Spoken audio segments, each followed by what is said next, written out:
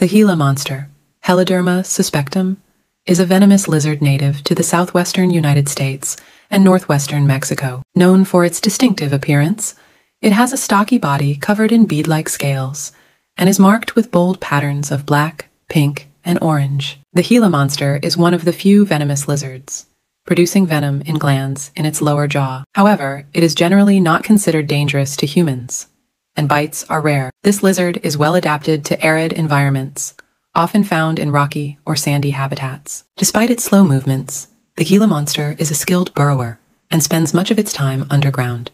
It is primarily a carnivore, preying on small mammals, eggs, and nestlings. The Gila monster is a protected species in some areas due to habitat loss and its relatively low population density. It holds a unique place in the ecosystems it inhabits, representing a fascinating and resilient component of the desert fauna.